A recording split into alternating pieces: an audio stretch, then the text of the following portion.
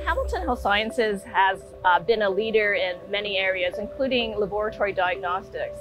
Implementation of the new Vitek MS Prime will put us in the forefront of being innovators and also providing very rapid and accurate uh, results to guide patient care. I'm really excited that this can have a big impact on our patients and will help support our key programs, our physicians, nurses, um, to ultimately ensure that patients are receiving state-of-the-art diagnostics and care.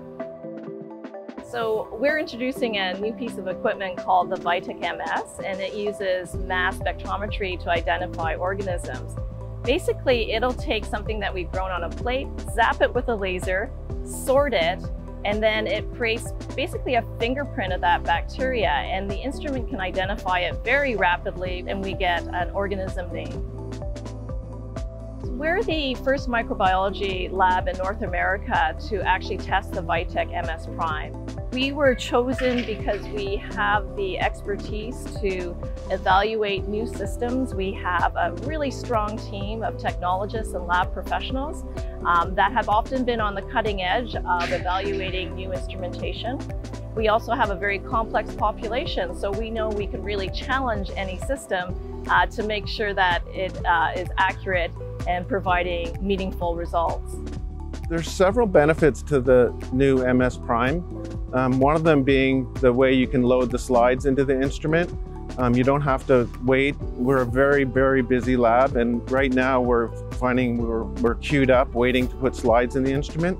With the new MS Prime, you can just put uh, the slide in and walk away. One of the most exciting things about the new MS Prime is how fast it is. It can uh, give you an ID in about 15 seconds, which is remarkable. And that's gonna allow us to get patient results out faster and improve patient care. Another advantage of the MS Prime is that it can actually hold 16 slides within the instrument. So we can pretty much put all our slides in for the day and evening in at, at the same time.